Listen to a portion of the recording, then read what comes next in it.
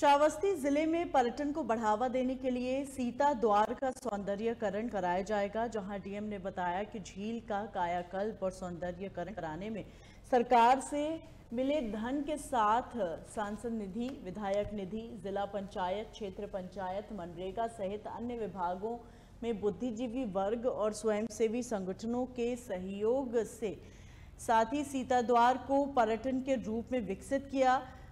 होने से यहाँ के लोगों को रोज़गार भी मिलेगा, जिससे लोगों का पलायन भी रोकेगा।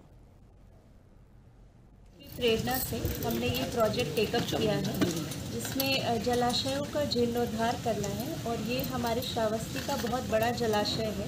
टोटल इसका एरिया 154 हेक्टेयर्स है। सबसे बड़ा जलाशय है और इसमें टूरिज़्म का बहुत पोटेंशियल है। अगर हम इसको डेवलप करेंगे तो ये बहुत लोगों को रोज़गार भी प्रदान करेगा।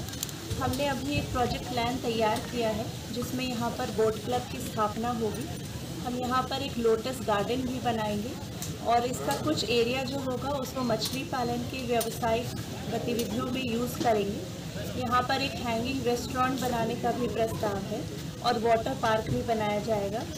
जो झील है, उसके चारों तरफ़ एक जॉगिंग ट्रैक बनेगा और एक स्ट्रेच ऑफ़ एरिया है, जहाँ पर वृक्षारोपण भी कराया जाएगा।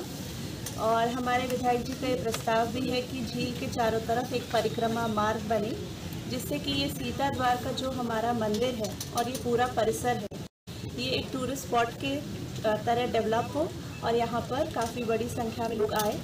इसके लिए हम एक बॉडी बनाएँगे जो यहाँ पर सारी एक्टिविटीज़ मैनेज करेंगे, उनका अपना सोर्स ऑफ़ रेवेन्यू रहेगा। हम इस प्रोजेक्ट को ऐसे डेवलप करेंगे कि इसको सस्टेन करने के लिए जितनी भी आय चाहिए। वो यहीं से हम जनरेट कर लें, जिससे कि ये एक लॉन्ग टर्म सस्टेनेबल प्रोजेक्ट